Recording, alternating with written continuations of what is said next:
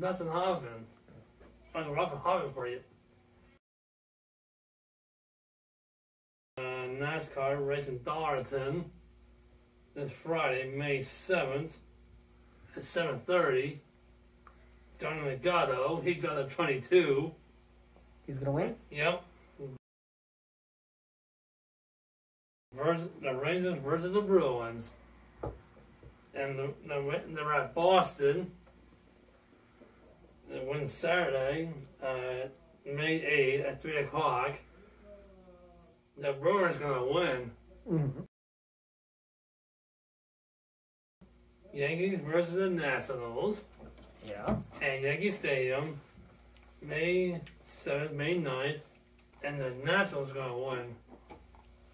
You can't see me.